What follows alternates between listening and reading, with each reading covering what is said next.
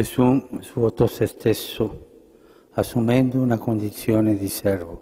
Jesús se despojó de sí mismo tomando la condición de esclavo.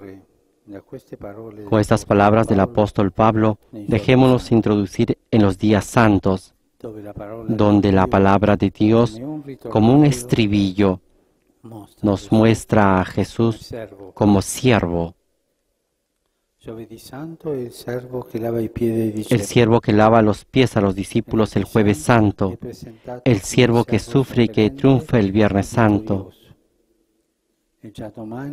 Y mañana Isaías profetiza sobre él. Mirad a mi siervo, a quien sostengo. Dios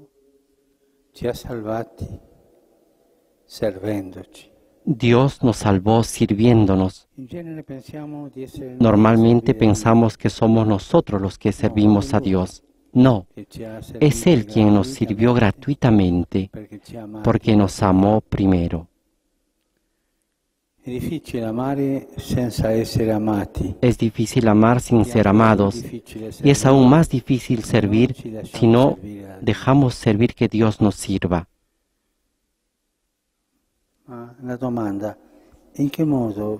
Pero una pregunta, ¿cómo nos sirvió el Señor? Dando su vida por nosotros. Él nos ama puesto que pagó por nosotros un gran precio. Santa Ángela de Foligno aseguró haber escuchado de Jesús estas palabras, no te he amado en broma. Su amor lo llevó a sacrificarse por nosotros, a cargar sobre sí todo nuestro mal. Esto nos deja con la boca abierta.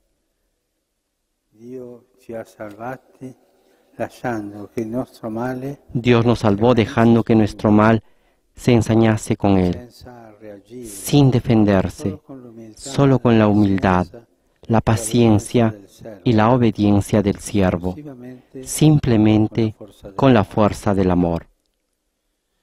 Y el Padre sostuvo el servicio de Jesús, no destruyó el mal que se abatía sobre él, sino que lo sostuvo en su sufrimiento, para que solo el bien venciera nuestro mal, para que fuese superado completamente por el amor hasta el final.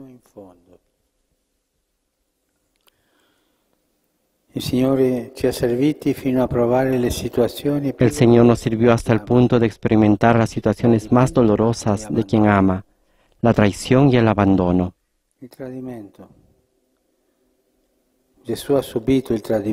La traición. Jesús sufrió la traición del discípulo que lo vendió y del discípulo que lo negó. Fue traicionado por la gente que lo aclamaba y que después gritó, sea crucificado. Fue traicionado por la institución religiosa que lo condenó injustamente y por la institución política que se lavó las manos.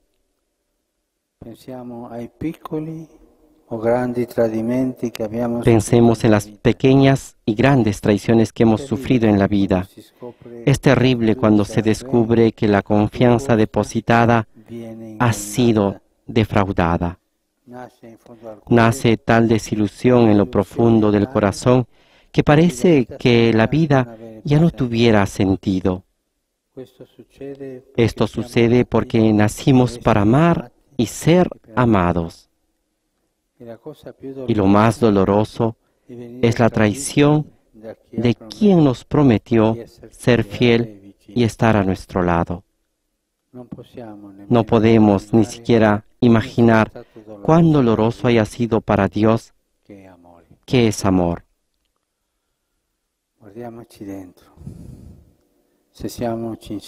Examinémonos interiormente si somos sinceros con nosotros mismos. Nos daremos cuenta de nuestra infidelidad, cuánta falsedad, hipocresía y doblez, cuántas buenas intenciones traicionadas, cuántas promesas no mantenidas, cuántos propósitos desvanecidos. El Señor conoce nuestro corazón mejor que nosotros mismos. Sabe que somos muy débiles e inconstantes, que caemos muchas veces, que nos cuesta levantarnos de nuevo y que nos resulta muy difícil curar ciertas heridas. ¿Y qué hizo para venir a nuestro encuentro, para servirnos? Lo que había dicho por medio del profeta. Curaré su deslealtad, los amaré generosamente.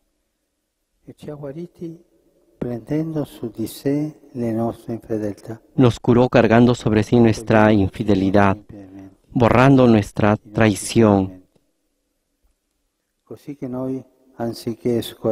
para que nosotros, en vez de desanimarnos por el miedo al fracaso, seamos capaces de levantar la mirada hacia el crucificado, recibir su abrazo y decir, mira, mi infidelidad está ahí. Tú la cargaste, Jesús. Me abres tus brazos, me sirves con tu amor, continúas sosteniéndome. Por eso sigo adelante. El abandono.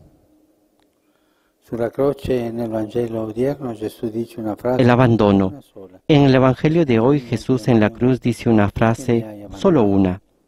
Dios mío, Dios mío, ¿por qué me has abandonado? Es una frase dura. Jesús sufrió el abandono de los suyos que habían huido, pero le quedaba el Padre. Ahora en el abismo de la soledad, por primera vez lo llama con el nombre genérico de Dios y le grita con voz potente el por qué, el por qué más lacerante, por qué también tú me has abandonado.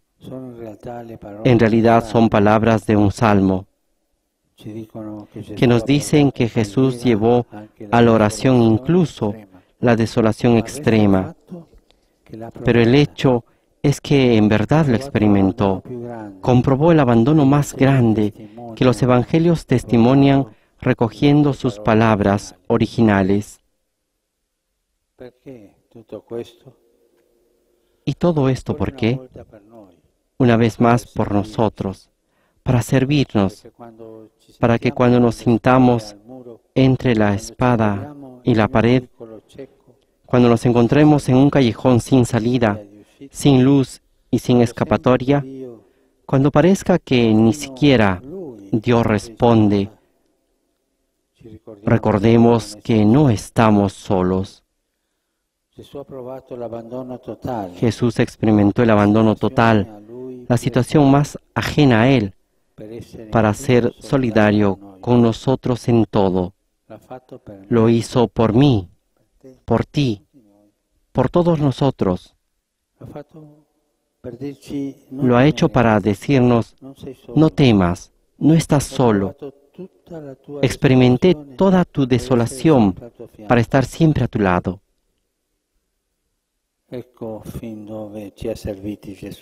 He aquí hasta donde Jesús fue capaz de servirnos, descendiendo hasta el abismo de nuestros sufrimientos más atroces, hasta la traición y el abandono.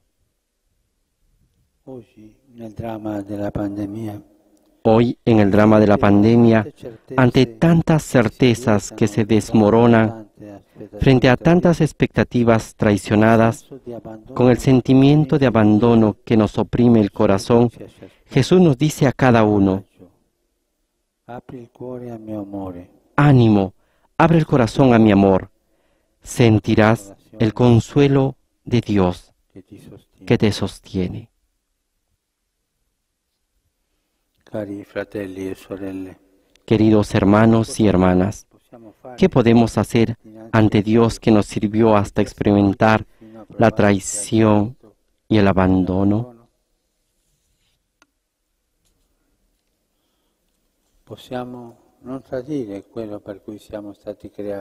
Podemos no traicionar aquello para lo que hemos sido creados, no abandonar lo que de verdad importa Estamos en el mundo para amarlo a Él y a los demás. El resto pasa, el amor permanece. El drama que estamos atravesando nos obliga a tomar en serio lo que cuenta, a no perdernos en cosas insignificantes, a redescubrir que la vida no sirve si no se sirve, porque la vida se mide desde el amor. De este modo, en casa, en estos días santos, pongámonos ante el crucificado. Mírenlo, miren al crucificado, que es la medida del amor que Dios nos tiene. Y ante Dios que nos sirve hasta dar la vida, pidamos, mirando al crucificado, la gracia de vivir para servir.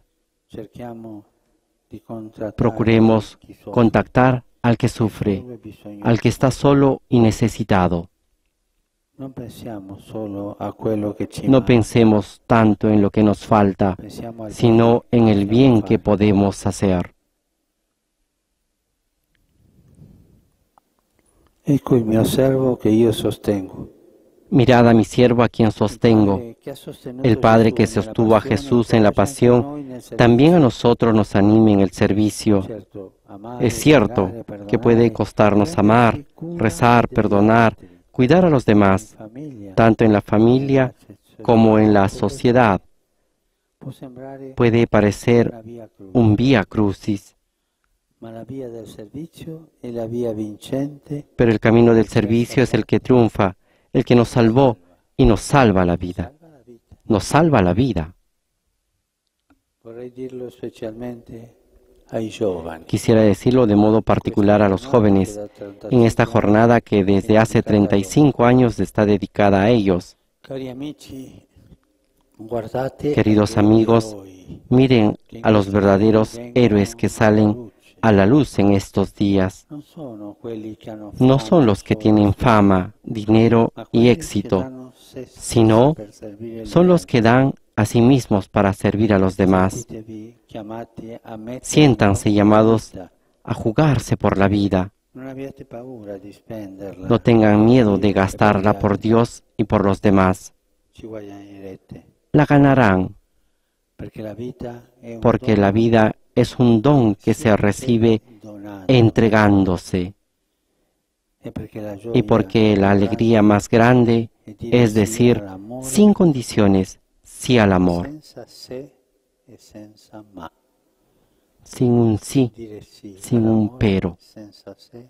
Es decir, sí al amor sin un pero, como lo hizo Jesús por nosotros.